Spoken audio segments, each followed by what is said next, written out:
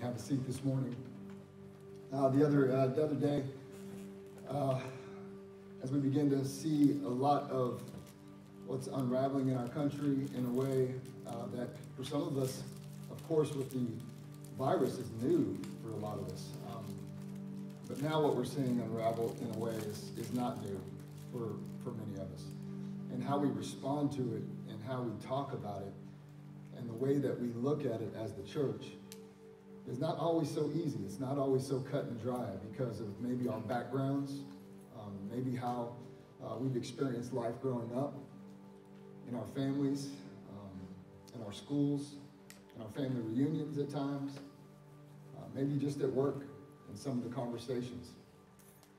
Uh, today, um, and this was probably about three or four days ago, I said, I don't want to just roll into our next series. Um, I think we need to. I think we need to pause for just a moment. Um, I think we need to to talk a little bit and share a little bit of what our faith looks like when we're seeing all of this happen in our country. Um, of course, I have a background with that, um, and I'll share a little bit of that. But I brought up, of course, Joel uh, is our worship pastor right here. Um, he has a background with what this looks like in our country course, Mark here is one of our lead team pastors. Um, he's right here, Mark Simpson, and he has a background with that. And then Lewis Austin is one of our elders um, who grew up uh, in the country. And I said, we need Lou up there. We definitely do because he's got an incredible perspective I can't wait for you to hear. And so just rest back, just chill for just a little bit. If you're watching online, you're thinking this is kind of different. Yeah, it's different. It's different for everybody. And so we're just going to talk just a little bit. Um, if you have a, a, question, if you have a question, if you have something that's on your heart, something that would uh, that really you need peace about, um, we want you to share those. Okay, we don't want you popping up where you are and just yelling. Okay, um, that would be fun and weird, but we want you to text those in. All right, we have somebody who's actually checking out and looking at the questions, and right towards the end of all of this, at the last uh, five or six uh, minutes or so, we're going to take some of those questions um, listen, we're, we're, we may not know the answer. Just like your doctor. Your doctor says, hey, you know what? I'll call you in a couple days. Because we may not have the answer. We may not. Maybe the answer is for some of us just that we don't know. We, we want to pray and give that over to God. But, but maybe we do. Maybe we have something that we know in Scripture that we can speak to. Okay? So this is Mark Simpson right here. This is Lewis Austin, one of our elders. And of course, you know Joel I'm Kenny Davis, lead pastor here at this amazing church that I would go to even if I wasn't the pastor. There you go. So the other day, um, like I said, I I was in, I just, and this is maybe weird for some of you, but I was in the shower and I just started crying. And my wife's over there, she's like fixing her hair or whatever, and she kind of looks over at me and she could tell that something's up.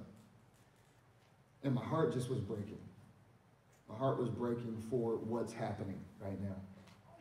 And I know that for me, that wasn't just my, my flesh, my heart. I think it was the Holy Spirit that within me was breaking for what's happening culturally. Of course, what's happening with um, this senseless killing that we saw, that many of us saw. And my, just my heart was breaking. And I said, man, we have to talk about this as the church. We have to share this and talk about what our place is as the church. Um, we know I'm going to begin with a verse that kind of will set the foundation today for us. And it comes out of Galatians, Galatians 3, 28. And this is the Apostle Paul talking to the church, that a church that was struggling, of course, with seeing division and the division, of course, was between the Jews and the Gentiles, between what we thought was slave and what we thought was free, what we thought was male and what we thought was female. And the Apostle Paul, through the inspiration of Jesus Christ, gave us this verse that sets the foundation for everything we're seeing today. He says here, he says, There is neither Jew, there is neither Gentile, there is neither slave, there is neither free nor free. He says, nor is there male and female. He says, for you are all You are all one in Christ Jesus. You are all one in Christ Jesus. And when we read that and we see what we're seeing across our landscape, we have to ask ourselves what that really means to us. I know, Mark, that uh, we were talking about this yesterday a little bit and kind of what we're seeing across our, our, our culture and how this applies. Can you, go ahead and share a little bit? I mean, it, it applies because the world is looking um, at not only how people are reacting, and there, there's a super awareness right now, but the world is also looking at the church. And what is our response to all of this? What should we be doing about all of this here? And, um, you know, I think to start off, I think what we're going to do is try to tell you a little bit of background about who we are. Um, my name is Mark Simpson, if you didn't know. I'm the youth pastor here at South Community, and I am half Korean and half Caucasian. My mom met my dad when he was in the military. He was in the Army for 20 years, and they fell in love without even being able to talk to each other, you know? So I guess, you know, they liked how each other looked. I don't know. so time passes, and now they have three kids, and there's this world that we're growing up in that's very multicultural. Um, being in the military, you get to mix with a lot of people that don't look like you. I grew up on a street uh, in Arkansas called, called Don Street, and on that street there were some other Simpsons there, and they were a really nice black family, and we were the Simpsons that were the Korean family, you know. And I was like, that was my worldview. I was like, oh, cool, you guys have my last, name, last name. And we played together and we, we had picnics together, and it was just a great time. But as you grow up, unfortunately, you have interactions that change not your worldview, but what you see in other people in their worldview, and what their preconceived notions are, and what their uh, prejudices are. And it wakes you up. Um, one thing that I know is that growing up, uh, being Korean, and we, when we moved to Tulsa, we went to a Korean church. I love this church. But also, I knew that it was really unique that sometimes the prejudices came from your own people. That being mixed, sometimes you weren't Korean enough, right? You know, your eyes were too round, or you didn't know enough Korean, or, you know, I didn't like all the kimchi they made. I don't know. But there was a point where you start to be very aware, like, I'm a minority of a minority. And, and you have to look at a place where you get guidance. And for me, it was the Bible. Because I see Christ and how he interacted with people. He never disregarded someone because of how they looked, or a sickness, or the region that they lived in.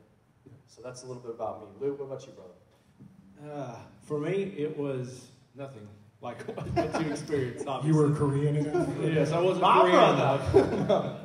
uh, no, I. Uh, my journey started in the '80s, of course. Uh, I'll be 40 this year, so that kind of dates me. But um, but I grew up in basically the armpit of Rogers County, and I don't say it as uh, you know, it's just the way the county is shaped. We're out there in the creek. We're at the armpit. So I grew up in Chelsea, and uh, but my dad, my, their family, they all originated from Alluwe, you've ever been through Alluwe, you're one of the very few that's been through Alluwe. It's kind of northeast of Chelsea. But, but that's where I grew up at. And in Chelsea, we were a strictly white community. I mean, nothing but Caucasians as far as the eye can see. And uh, growing up there, I, it, it, was, it was really out of the norm. I mean, you, you, when, when you're young, you don't want to, you remember the stupid stuff. Let's just put it like that. But growing up through school, you know, with just, you know, all my white buddies. And uh, my freshman year, we had our, our first uh, mixed kid come into, into, into the school. And uh, yeah, Kenny, what, what? But uh, that shouldn't be a big deal. And to me, it wasn't a big deal. He was just another kid. But to a lot of my friends and uh, kids that were older than me that I looked up to, they hated him because of the color of his skin. And I had never experienced or I couldn't tell you if I'd ever even heard the word racism up until that point in my life because it's just something we never dealt with. And uh, I'll never forget that, that one experience because it, it made me reflect on, on the way I, way I was raised. You know, my dad grew up in Alluwe, which isn't far from, from Nowata. And uh, he had what he called a lot of families. Last night it was kind of interesting. I got to sit down and actually have dinner with him and talk about it. And uh, and asked him a little bit. Told him what we were going to be talking about today at church, and and we were just going to discuss, you know, the times. And and he was just saying, he said, Lewis, you know, there were several families there. He doesn't describe them as black or, or a colored family. It was just there. We had several families there in Alloy. And if you've ever been through Alloy, like I said, it's you know, there's maybe 30 houses in there. So several families was a big part of that population. And he was just saying as growing up, he said, from when we were little kids all the way into my 20s, we, they were just people. And it originated with my grandmother because of her Christian values and the, what she believed. And I remember this from when I was very, very young. You know, during the summer months, my dad was a coal miner, so we didn't have a lot of money. And my grandmother would watch us every year.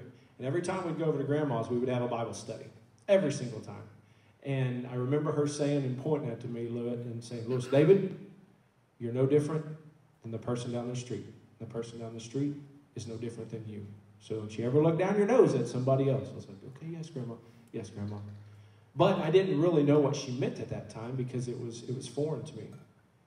But I, looking back, those Christian values and, and those things that, that were instilled in her whenever she was a little girl, that she instilled with my dad. And we didn't go to church like we were supposed to when we were younger, but those same values were translated into my life. And to, to see what, what these guys have experienced and, and uh, the lenders in our family or in our community group, what they have shared, it's all foreign to me. So to me, it, it's kind of it's, it's strange because now I have to teach my children about what, what other people are going through. And I feel like this is such a poignant time in our in our history because now it can grow exponentially. And what I mean by that is me teaching my boys. I've got two over there. If they each have two children, that's, you, you see what I'm saying, where I'm going. That, I, I don't know, I, I just think it's an interesting time that we live in, that we can literally change history. We can change the future of this world, but it all depends on what we decide to do right now. Before we go to you, Joel, uh, one, one thing we do know is that it's not foreign, as we're seeing all this, it's not foreign to God like we've seen uh, like what you're describing and how well we know what they look like and this is how we're going to treat them is not foreign to god the reason why we know this is because in john 4 listen to this and some of us know the story of the samaritan woman it says clearly in john 4 4 one of the things that are, are amazing that the jews would go around samaria they did not want to go through samaria because samaritans were half breeds Samaritans were half breeds. And we're thinking of racism. This is where this, when we're looking at it, it's live right here in Scripture in John 4. And Jesus, listen to this, speaking just like words from your grandfather, all right? He's like, I don't, we don't see that. And it says right here in John 4 that he had to go through Samaria. It says he had to. It says now he had to go through Samaria. And so he came into a town of Samaria, okay, called Sychar, and near the plot of ground. And this was where the woman at the well was. And so he had to go through Samaria to, to show us as, as believers, as, as the church, what it means to connect with people who don't look like you. And the disciples were saying, Why are you going through there? And, and you're, what you're describing from what your upbringing was from your grandmother, this is why. Because I want to I want to show you that this is how we treat people that don't look like us. And what, what was the result of the story? Many people in Samaria came to know Christ that day. Many people. Some of us have had a background where it, it, has been discriminatory. You know, we've, we've experienced some of these things where Lou is saying that he's seen it happen, and then some of us have also experienced that. I've asked Joel to, to be able to, you know, express some of that. Yeah, I. Uh, it's interesting, you know, growing up. Um, because like like Mark, you know, I've experienced um, things on both sides because I'm I'm mixed as well, and um, same you know with my family, uh, my brother and sister who, who were up here earlier uh, leading worship, but and I'm not going to go through all the stories. Uh, we'd be here all day, but um, just to highlight a couple of, of things that um, will ex- help you have an understanding of, of, what my perspective might be or, or our perspective might be. Um, I remember uh, in, uh, in sixth grade, uh, my, my, next door neighbor was in the KKK, okay, actively. Um, so we were not allowed to go outside um, and play, which was foreign to us because we always did that. Um, and, and, so, you know, I, I had that experience, but that, then at school, you know, I went to a school that was primarily black kids. My best friend was white, and we got in fights all the time. I got in fights because my because the black kids did not like that I had white friend. Uh, he got beat up because his white the white kids didn't like that he had a black friend, and it got so bad that his mom actually had to pull him out of the school, um, and they moved away.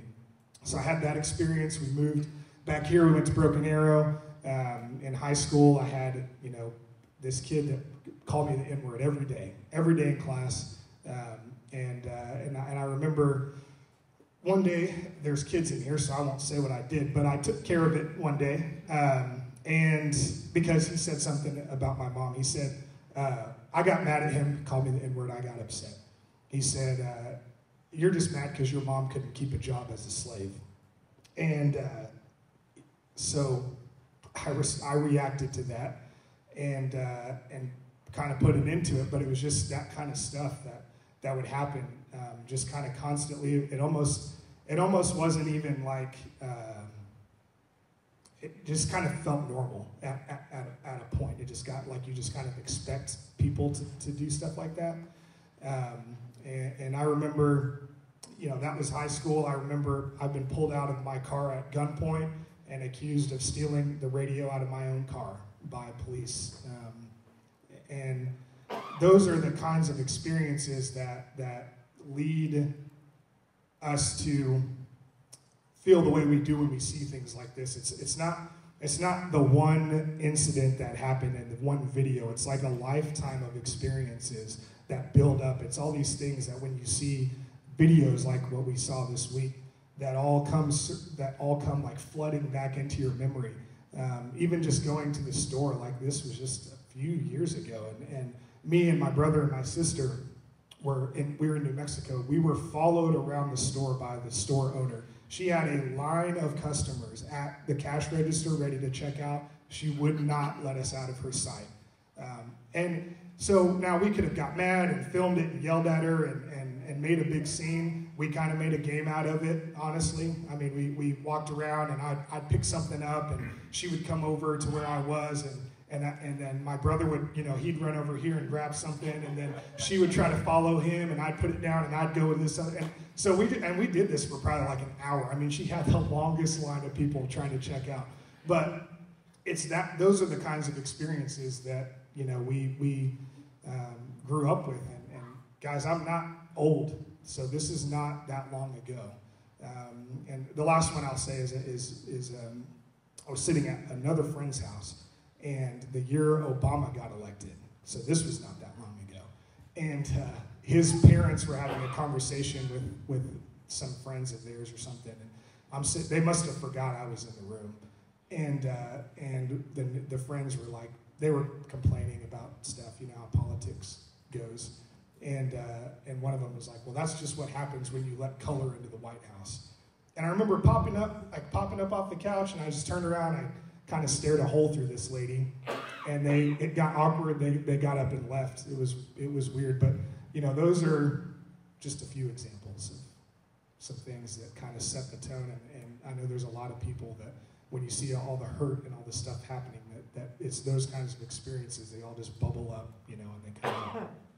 I think I've talked to the guys about it this last week about how why are we surprised though? Like when we watch some of this stuff that we see and we see that it's evil outside of the, the, the love of Christ, if a person who's not under the love of Christ and we see this stuff, why are we surprised by that? Why we, we look at it? Is because of humanity? When we say it, we're like, well, there's just humanity that, we, that that should not happen. But the only thing we see in Scripture is that what pulls us all together is our connection with Christ.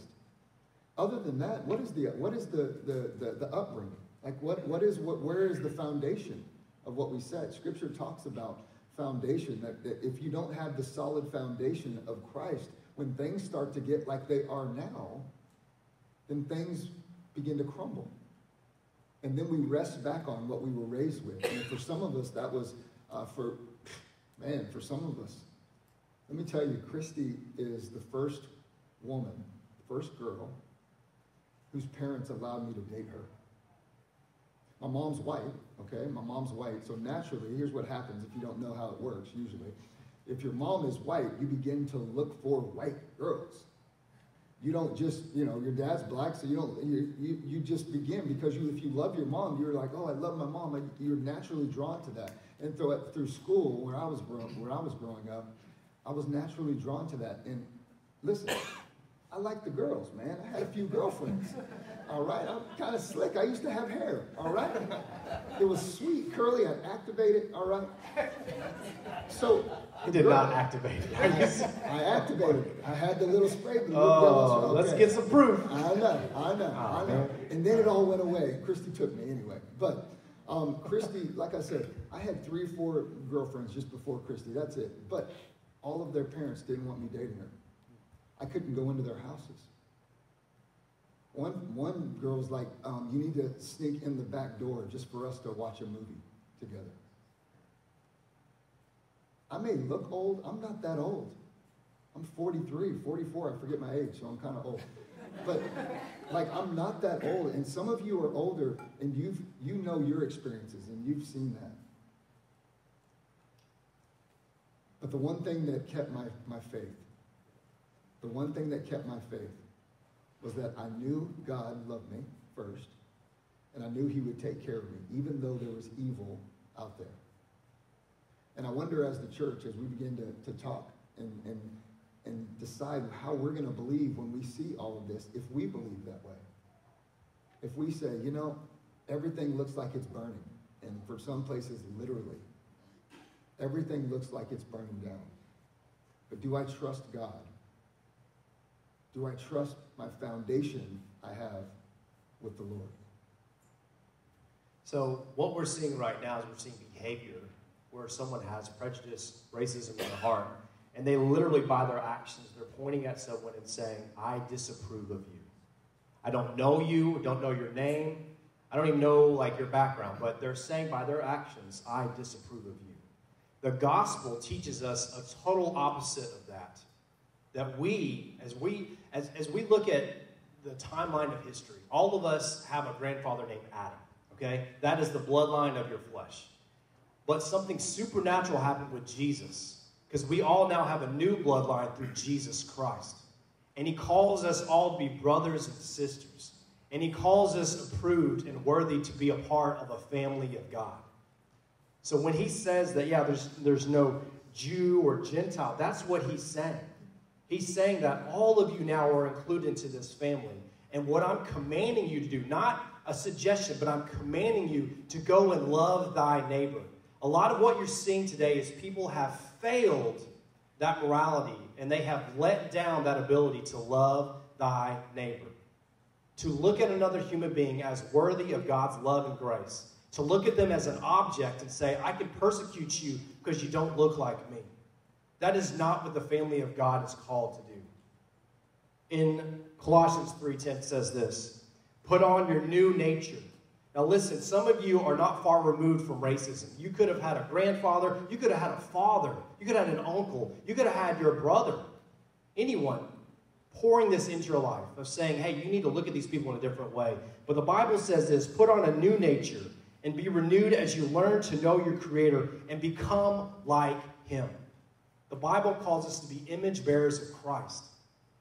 And it doesn't matter if it's like, you know, that far removed or like through, through lineage that you've learned about prejudice or racism. The Bible says, no, no, no, it changes. As soon as you call in the name of Jesus, we are called now to become and follow after Jesus Christ and become an image bearer of who he was. And just like Kenny read when Jesus went to Samaria, he proved to his disciples, I'm way beyond what you think is normal. What I think is normal is people that are worthy of my Father's love. And that's it. Yeah.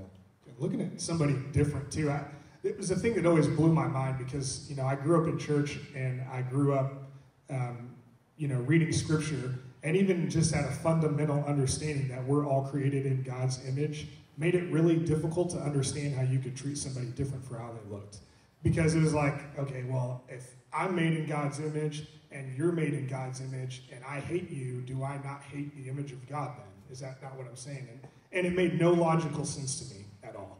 You know, and it's those those kinds of things in Scripture that you see. It's like, I mean, how can you how can you look at anybody other than God's image? You know, and, and that's another area that I think you know we forget about, and we struggle with sometimes. Yeah, I mean, the, the thing too we have to, to understand is what is the enemy trying to do? Like, some of us get, we get kind of surprised by, oh, there's something happening and we're surprised by it. We can't be surprised at what the enemy is trying to do. He's trying to bring confusion and division. It's what he's doing. He's trying to bring confusion and division. And it can happen through something we see culturally on the news, something that we see through social media, something that can happen even in our own homes that brings division among some of you deal with this in your own families that you know something is happening maritally something is happening with your with uh, maybe an extended family member. Something's happening where it's bringing division because that's what the enemy wants to do. His name is satan and here's what he wants to do. Create division. If he can create more division and more chaos look what we're seeing. If he can create more chaos then then we guess what happens? God gets lost in the mix of all of it we don't know what to do. And we resort back to being angry, looking at people differently, and saying, I think I'll just stay with people that look like me. Regardless of if they're a child or a, a child of God, we talked about a few weeks ago. And we can't do that. We've got to be better than that as the church. I think we've said this before, but uh, we know that the most segregated day of the week is Sunday. That on a Sunday morning, you have places of worship that are predominantly segregated because you have the white church, you have the black church, you have the, hey, there's Korean churches out there. There's a lot of them. Y'all need to look into that. Um, there are all kinds of churches. If you are a certain race, you can go find insert race Baptist church. It's out there, okay? But is that truly, is that truly what God has a picture when he thinks of his family. When I came to this church, I mean, we're going on nine years ago now. It's beautiful. I saw this beautiful image of what God has called the church to be diverse, of not just race, but also age and demographic and socioeconomic and all of those things. And I feel blessed to call this my home church because South Community, we are a diverse church. I mean, we have we have more families in this church with adoption stories than I can think of. That people will look and say, I love you, not because of how you look, because I know that you're worthy of God's love. And I want to call you into my family. I look and see at our staff and look and see at the people that call this church their home, that we come in here and we can show the world what you guys could truly do out there. If you can just accept that we are all worthy of God's love, that we can be standing next to each other, shoulder to shoulder, and worshiping our one God. what do you think about that? We have a unique opportunity, and now I'm talking about our church. What you just said, we have a unique opportunity at our church to go and show the world that we're doing it. That we're doing it here. That, that it doesn't matter where, what your background is, what color you're from, if you want to be mixed, if you want to be not mixed, you want to be black, you want to be white, you want to be young, you want to be old. We've never really talked about like that's what we're doing. Because it's not been like something on the eldership where we're just like, hey guys, we're to drive it this year. Our big initiative is to tell everybody that we're, you know, a mixed church. No, it's naturally just happened. It's naturally just happened where, where you've seen that people, man, who are a white family and they're adopting and bringing in two black children. And it's like, wow. And then you see in the church that you see the, the, the mixture, but it's all around the love of God. And we have a unique opportunity in this culture right now and in this climate to go and tell the world and to say, hey, maybe you should come and check, it, check us out. It's, it's chaotic everywhere, but you should check it. You, can, you should come and check out the love that we have for each other at the church and what that means. I think we have an opportunity here. to really show them that Galatians 3:28 is really happening in our church. If you're not challenged by that and, and all of this is really just like, I don't know what they're doing, it's weird, it's just, you know, if you're not challenged by that, man, I'm, I'm, I'm afraid. That's the part that makes me afraid. We asked for questions. Uh, look at her. She's like, no, no. I don't think anybody wanted to ask any questions in the middle There of was this. one. Oh, there is okay. It was why are you guys sitting so close to each other? really? really? That was the question? We are kind of close together. aren't we? Man, that's right. They set up the chairs by muscle mass, so it starts off really strong out there and it gets weaker as you get over here. So, Yeah, right. Yeah. you own a gym, holler at me, please. So, you know, in Austin Powers, where they're like the mini me, you know, I'm the mini me of Joel. I'm, I'm sitting there. He's like, boo. I'm like, uh, small.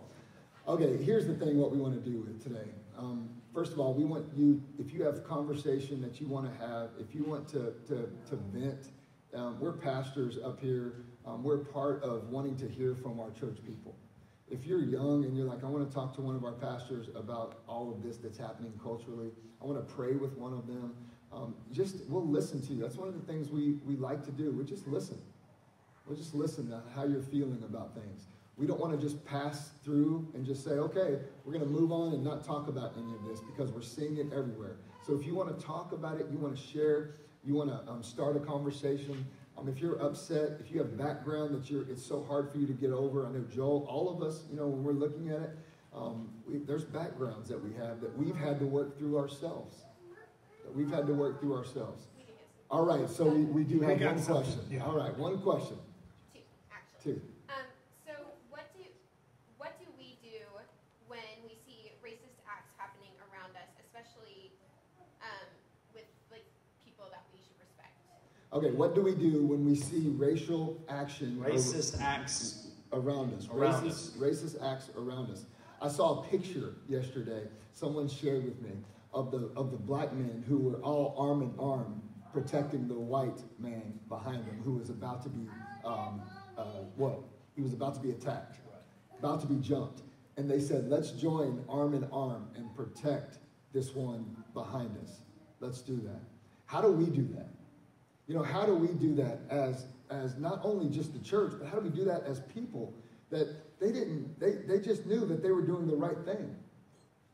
And I think that man, when we talk about cues, the, the, the spirit doesn't need to give you a cue to do the right thing when you know what the word says. Isn't that true? Like you don't need to think, uh oh, is this my chance to do I need to do something? No, the word's already told you. So don't step back. It takes bravery though, right?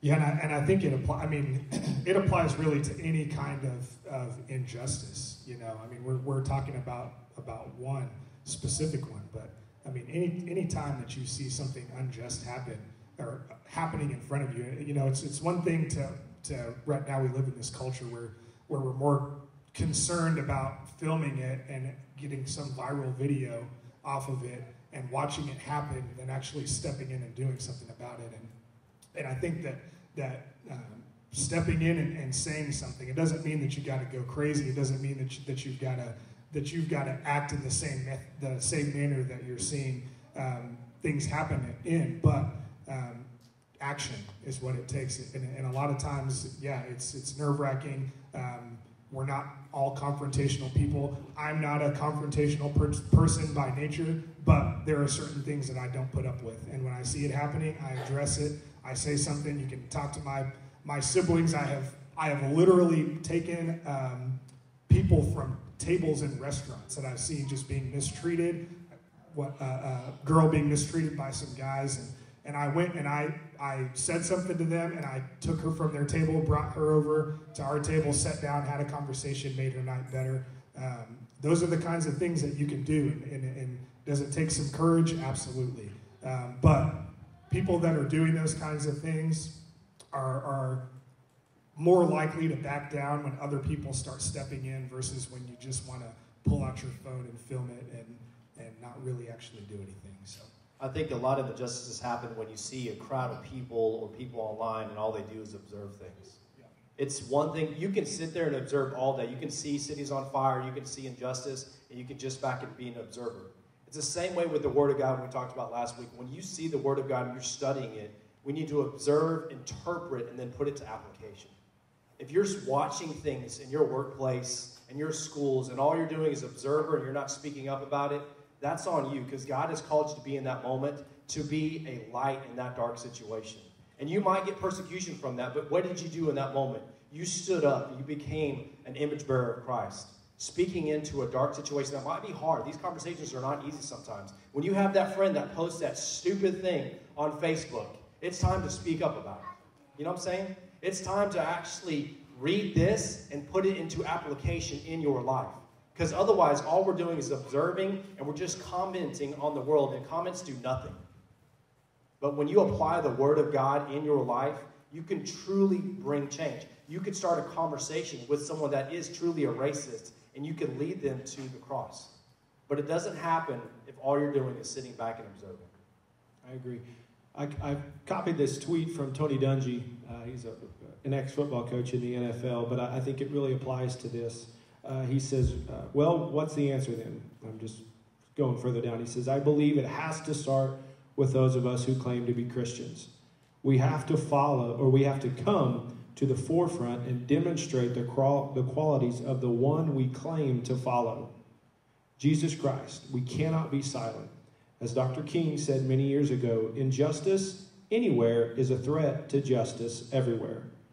And at the bottom, he uh, quoted Romans 12 21. Do not be overcome by evil, but overcome evil with good.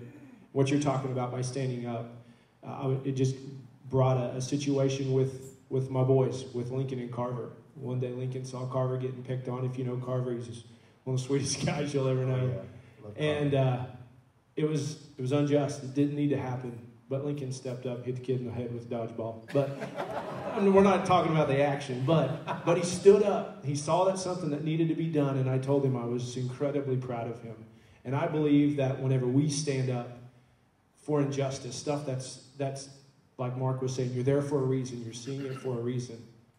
Dude, your heavenly Father is just smiling.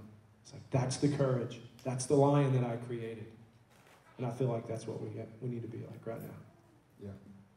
Um, what should our response be as Christians when it comes from an authority figure, somebody like a cop or um, just in a higher position? Let me answer that actually with a story from the Word, okay? And what, what the question was, if you didn't hear it, was what should we do when we see injustice that's happening from an authority figure, as someone of authority, and we see it happening to someone that is lesser, I guess, than them, maybe. And one of the stories we know in Scripture is when the woman is about to be stoned. Yep. Right? She's not perfect. I mean, she wasn't perfect. She had her past, sure, right? But she's about to be stoned by the authority figures, them being the Pharisees. And Jesus came and he steps in in that moment. Remember, stepped in. Who is this guy stepping in? Who are you to think that you could step in in the middle of what we're doing, right? and he steps in. She is about to be stoned. She's on her knees. You can just imagine how this is. She knows, because if you did what she did, the result of that was that you should be killed. You should be killed. And Jesus steps in for her. And what does he say? He says, Hey, if you have no issues or no sin in your life, if you have no background and no sin in your own life, then you be the one to be the throw the first stone at her. And what did all the bullies do? All the bullies dropped their stones and began to walk away because someone stood up for her. Right? And what happens in the story is, is that the, the lady in the story answers a question from Jesus I think is so important because I think when you stand up for someone who's, who's something unjust is happening to this person, regardless of the authority figures, something unjust is happening that person says the name Lord. Because he says to her, Who condemns you now? Who picks on you now? And he lifts her up, right? And her answer is so powerful. No one, Lord. Called him Lord. And I think when we do that, when we stand up, people see Jesus. People see the name of the Lord. But do we will we do that, even though the authority figure may be above us? something to think about. Yeah. Yeah. Any more, Jess? Yeah. Um, how should we speak to somebody in love if they don't recognize their racist actions? How do you speak to someone in love if they don't recognize their racist actions? what of you take it. I can take it. Yeah, I think um, for me personally, um, the the worst thing that you can do is be accusatory to somebody, especially um, in a scenario like this, if, if they don't know, um, because there's a lot of things that that are said. People's uh, levels of sensitivity to certain terms and certain things are different. Um, this something that somebody might say to me is not going to offend me, but it might offend the next person that they say it to. And so, um, I know for me personally, um, I usually will say something about it now. Now, and I looking at the intent, I think is the number one thing. So it doesn't even really matter what you say if if you said it with an intent to. Um, or did it with the intent of being offensive, I'll take offense to it and I'll react that way. But if you just said it eh, or did it and it wasn't, um, it was out of ignorance, then then it's it's a simple like, oh hey, you know, some people wouldn't like that, or I don't like that, or or or or if you're witnessing it and it doesn't apply to you specifically, you can say, hey, listen, that's probably not really appropriate to say. That's offensive, but you should say it like this, and and, it, and don't make such a huge deal out of it that the person gets defensive themselves. I mean, you, you want it to be um, just a, a natural, like friend to friend, hey, just a heads up. Yeah, you're given an opportunity to raise their awareness. Yeah. And, and when you miss that opportunity, you're allowing them to go out and cause more bondage and pain for other people, right? So it's our job when we have that moment to observe. It's also our job to find an application time to actually help them raise their awareness. Like, hey, when you say that, that's like that's racist, you know, just to put it out there plainly, and that's causing pain and hurting other people because they're thinking that you de- are devaluing them. Do you want to do that? And, and I'm hoping that in this conversation, you're speaking to someone it's truth and love, though. You know, coming at them with rage and anger, that's not going to open up the line of communication. I don't know anyone that if you start screaming at them, they're just like, yeah, I want to listen to you. Go ahead and talk more. You know, it's, it's also in the attitude of, of, of, of, your, of your communication as well. And Christ was really great about that as well. Yeah, and it's a question of whether or not we actually love the person or not. Yeah. Not the person who's even being, um, you know, spoken to in an unjust way. It's like the person who said it. Correct. Like, do you even love that person? And will you call them out? We said that a few weeks ago. That what is love is actually to actually be willing to call out somebody, and to say, "I'm loving you right now" by saying, "We can't say that. Your children are right there. You can't raise them that way. Come on, you can't say that in front of them. That's loving each other." Right. We, we had a situation with one of our, one of our students, they're, they're going on a trip with their friends, and it was, they're going to go up to the lake, and the friend came back and said, hey, and, and one of our students, she was black, and the student that came back and said, hey, I can't really take you lake because uh, grandparents are racist, and they're gonna, not really going to like you up there. And that was, that was the answer that this young girl had for her friend that was black. And that is a moment where that young girl could go to her grandfather and have a conversation. What do you have a problem with, my friend that's black? Explain to me. Have this conversation. And that's a tough thing to do, but that's also something that we see constantly that people just are, you know, that's just who they are. Well, that person gets to answer for why they think what they think at some point. And sometimes it's a grandchild that comes up to them and say, explain to me, why do you hate this? Why do you think this? And they have to stand on ground, and I guarantee you it's going to be shaky ground. Because if they're a believer, they're walking on sand. Yeah. A lot of it's ignorance, right? Yeah. It's, a, it's ignorance, not just like you're saying, and a lot of it is ignorance. A lot of it for us is ignorance of Scripture. Like we've ignored what Scriptures have, Scripture has said, and we don't have a baseline for, for how we're living. Jess, Yeah. any more? Um, just one last one we could do. Um, this is from a student, and they want to know if any of these events are leading to the rapture. Um, the truth is, we are an end times Man, church. You jumped in quick on that. Wow. awesome. Rapture's coming. Jesus coming back. We don't know when, but it's going to happen. So, yes. the answer to that is yes. We don't know the day or time. No one does. Not even Jesus knew. Uh, to, to put it frankly, like the world gets worse, but the church gets brighter, and it's our response to be the light in the darkness. And as we go along, if you guys keep thinking like, oh, maybe next year will be better, the year after that will be better, you just have to know that the world is is led by and filled with evil. Yeah, the word says that the, the enemy is the prince of this world. Right. Like some of us are shocked by that, like the prince of this world. So when we're seeing evil, we're seeing a lot of this happen in culture. If the enemy is the prince of this world, then we're going to continue to see a lot of this. But how do we respond as God's people? Scripture even told us that he's coming back soon. Yeah. We don't know the time or the hour, but be ready. There's this meme that's out there of this lady. She's looking like this. And she's like, "Have you seen that?" She's like, "Oh, I'm just trying to see what part of Revelation we're in today." Yeah, and It's soon, coming. and soon was a long time ago. Yeah, and soon was a long time ago. We are the soldiers yeah. of our commanding officer.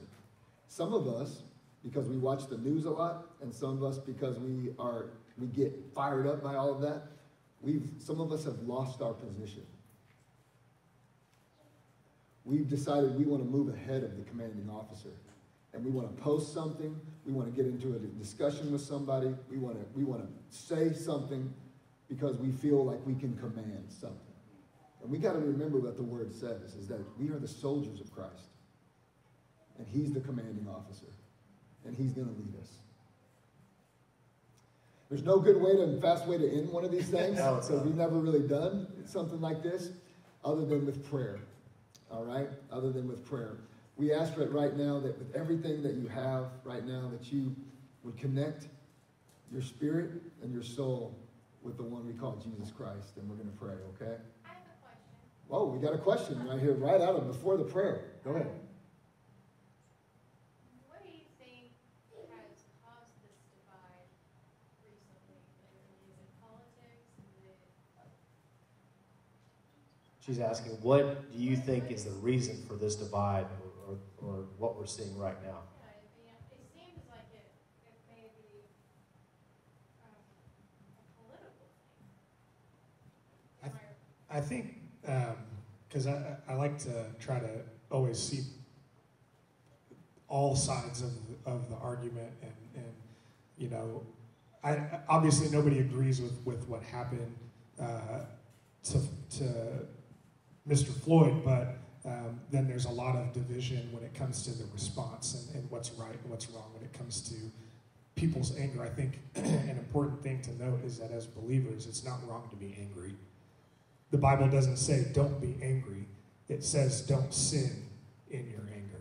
Um, it talks about righteous anger, and so I think, but I think that the, the divide is is there from people like as I mentioned earlier that that have it's not just one experience; it's a bunch of experiences piled together. It's not just the one incident that just happened.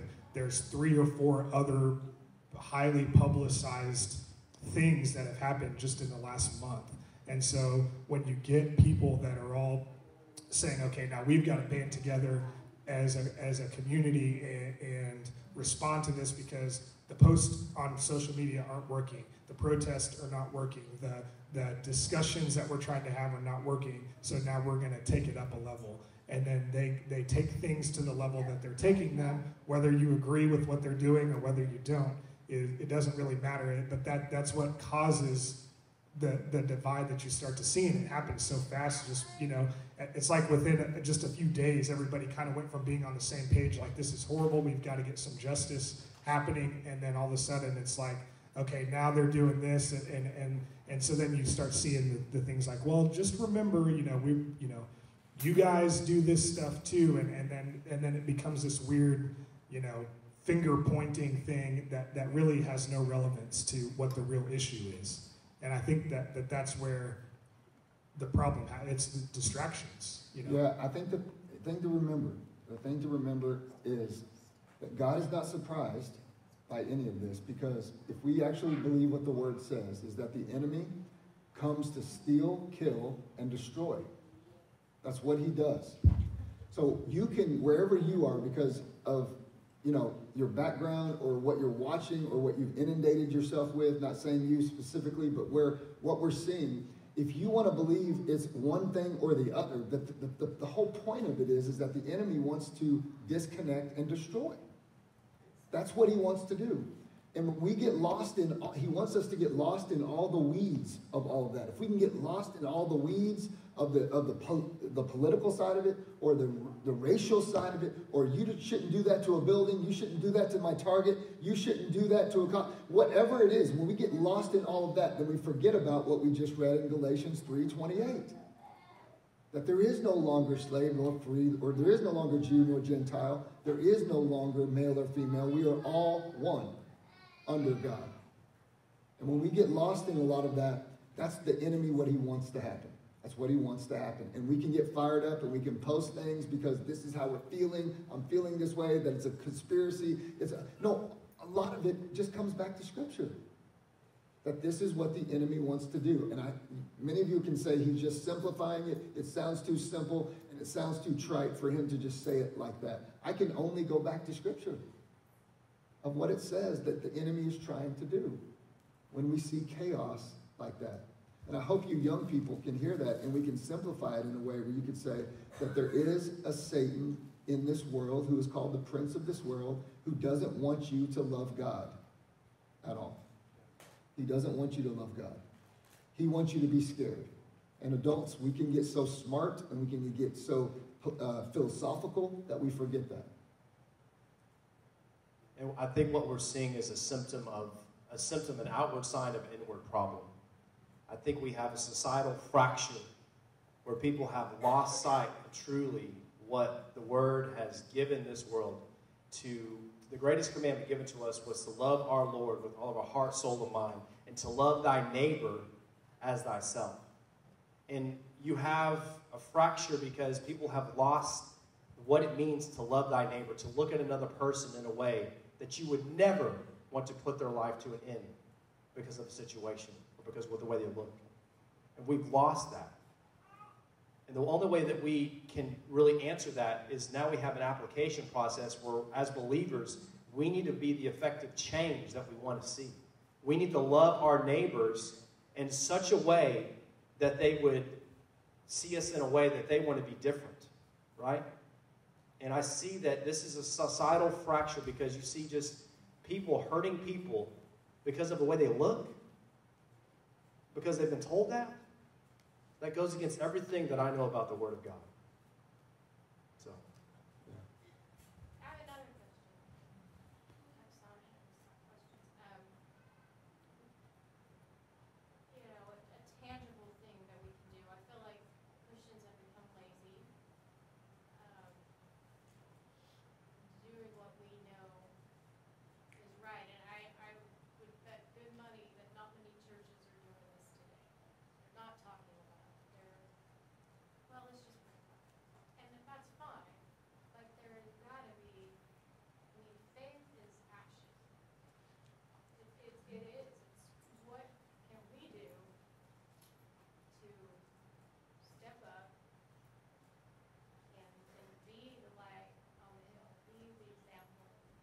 So the question is, what is the tangible things? What is the things that we can really do outside of prayer starts with prayer, right? What is the tangible things that we can do? I was just thinking as you were talking. In just a moment, many of you are going to probably eat. You're going to go somewhere and eat wherever. You're going to be in a public place. And there's going to be someone who doesn't look like you, somebody who doesn't, um, maybe not the, so, the same socioeconomic status as you. They're going to be right near you, really close. And the Spirit of the living God is going to give you a cue. And you can say, how are you going to do? Are you going to open the door for this person? Are you going to be hyper? It's time for us to be hypersensitive to the Spirit of the Lord. And what I mean by that is that will you open the door and some this this person who's white coming through and you are black, are you going to greet this person in the culture we're in with such a smile that they know that you have the Spirit of the living God within you? That you they will see the face of Jesus in you because you have done something, you've looked at them. And I thought many of you have, you felt this, right? Where you've been in a place and you know that that person is the, that knows the Lord. Like you know it because the way that they're smiling at you, the way that they're talking, there's something over them. And we're going to have an opportunity We're going to have an opportunity to do this. And don't fail. Don't fail. Don't, don't just regress back to what you've known growing up. Don't regress back to your fears. Don't come back to just not doing anything. What did he say, man? If you are complacent and you don't do anything, then you've accepted what we're living in. That can't be us. We've got to do something. And it's going to start today. I promise you, there's going to be an opportunity. And if you don't see it and you miss it, if you don't miss that, man, the, the Spirit will, I, I, promise you, the Spirit will remind you later. You might stub your toe. I don't know. Something where you'll be, you'll be like, man, I, I, you had the opportunity right there to do something. Yeah, and I think just not being, not, not staying silent is, is the big thing, you know. It doesn't necessarily, if you're not, doesn't necessarily mean I, I think that everyone needs to go out here and post something on social media. That's not what I'm saying. Um, I have not posted anything on social media, but I think it, it's in the conversations that you have with people. It's when it's being talked about around you that you're not going to sit there and just stay quiet and just think like, well, if I don't say anything, then I, I just don't need to get involved. You know, it, it's it's getting involved and giving a, a Christian perspective into the situation. You know, so we want to keep the conversation going. Um, if you have questions or thoughts, you're watching this online today. If we're still online, if you're watching this online Send in your questions, send in your thoughts. We, like I said, keep the conversation going. The last thing I want to say is for the young people in here today, the young people who sat through this whole thing that the adults are doing. Young people, change our world. Change our world. Let's pray. Father God, you are the God we see in Scripture still. You have not changed. You have been there from the beginning, creating mankind, Father, as your creation. We thank you that because we are creation, God, that you are a God who's given us John 3:16 because for God you loved the world that you gave your son so that the world would not perish, the world would not burn, the world, world would not be caught on fire but that the world would be able to come to you through Jesus Christ. That you did not want to condemn the world at all, but that you sent your Son so that we could have connection with you. The stories of Scripture, the writings of Scripture, Father, the passages we've even read today have been examples of Jesus wanting to bring his people together. Father, I pray and, and, and pray that we'll have action as we leave here today. That, Father, we will be the church I thank you for this church that has said, that has said, I love you to people that somebody that doesn't look like you. That has said, I want to sit with you at lunch. You don't look like me. I want to, I want to be right here next to you. I want to give you a hug, even though you don't weren't raised in the same place as me. I want to become an elder of a church, although they're different colors and different uh, backgrounds than I ever had, that I never even saw in the town I was growing up, because I love people, because God loves people. Father, I pray that you would heal our country today. We ask that in the name of Jesus Christ, our Lord. And all God's people say, Amen. Amen. You guys have a good day, all right? Keep the conversations going.